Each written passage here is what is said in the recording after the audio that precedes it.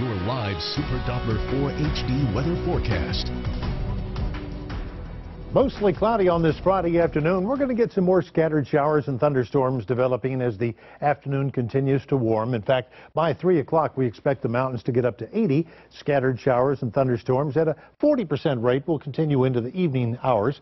78 by 6 o'clock and still a mild evening. 9 o'clock tonight, a few isolated thunderstorms and 69 degrees. As we look at the rest of the day for the Greenville, Spartanburg, Anderson area, a high of 86 today, fairly typical this time of the year.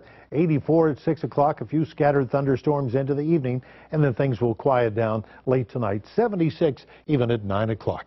Let's look ahead to the Father's Day weekend. First for the mountains, we see 40% chance of showers Saturday, 50% Sunday. Still temperatures about the same. Then they start to warm up next week, climbing to upper 80s by midweek. Each day, though, a chance of those showers and thunderstorms in the afternoon.